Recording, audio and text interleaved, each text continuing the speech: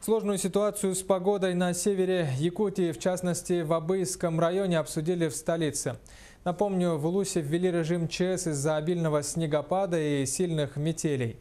Как на местах справляются с ситуацией, какие меры приняты республикой, что прогнозируют синоптики. Репортаж Виталия Абрамова. Сегодня на севере республики толщина снежного покрова начинается от метра. Месячный норматив осадков превышен в 2-3 раза. Такой подарок природы, естественно, в кавычках, радует только детвору. А вот инфраструктура населенных пунктов едва справляется с ситуацией.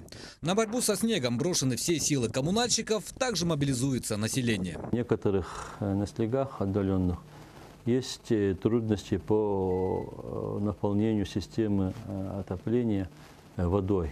Вот, потому что э, из-за э, снега вот, водовозки на снегах э, не могут ездить. Вот. Но в целом ситуация под контролем, заверяют власти. Все социально значимые объекты работают в штатном режиме. Нарушений теплоэнергосетей нет.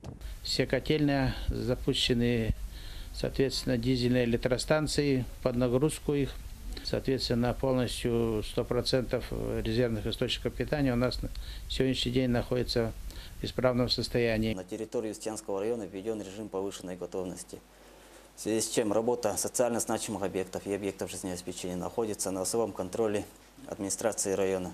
А вот с животными ситуация иная. В частности, в Абыйском районе имеется более 2000 голов крупного рогатого скота и лошадей. Последние особенно страдают из-за сложившейся ситуации. Толстый слой снега и образовавшаяся ледяная корка не дает лошадям нормально кормиться. В некоторых районах Улуса уже начался падеж копытных. Тяжелая техника также не может пробиться в места сенозаготовок. Так что жителям приходится подвозить корма малыми объемами при помощи снегоходов. В Минсельхозе уже готовы применить авиацию для доставки комбикорма. Речь идет сначала о обеспечении внутренних резервов. Значит, это внутреннее перераспределение и транспортировка. А сейчас, так как так дорог нет, и все замело, и сейчас непогода, поэтому вопрос стоит о перевозке то, что в Белой горе находится корма, да, возить а, воздушным транспортом. На местах и в правительстве организованы оперативные штабы. В нуждающиеся села будет доставлено дополнительное топливо. Запасов продовольствия и медикаментов хватает.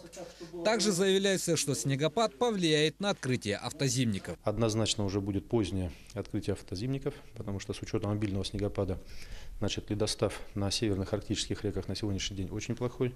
Поэтому сегодня уже начинаем готовиться к автозимним перевозкам. Министерство транспорта информирует о том, что э, пока плановые сроки открытия автозимников, в основном это декабрь, январь, они будут выдерживаться. Значит, Министерство жилищно-коммунального хозяйства и э, Якутэнерго также докладывают о том, что наличие э, значит, видов топлива на местах у них также имеются, то есть пока волнений не вызывает. Но тем не менее, значит, ситуацию сейчас будем мониторить и э, держать под контролем. Тем временем метеорологи сообщают, что такого обильного выпадения осадков не было уже три десятилетия. Но на неделе все должно устаканиться. Этот циклон, который сегодня находится над Индигиркой и Колымой, он как бы завершающий всей этой серии циклонов. Поэтому еще ближайшие сутки там будет ненастно очень. Потом ветер начнет ослабевать, превратиться в умеренный. Виталий Абрамов, Екатерина Соломова, Туяра Семенова и Евгений Слепцов, НВК Саха, Абыльский, Усьянский, Момский, Улусы, Якутск.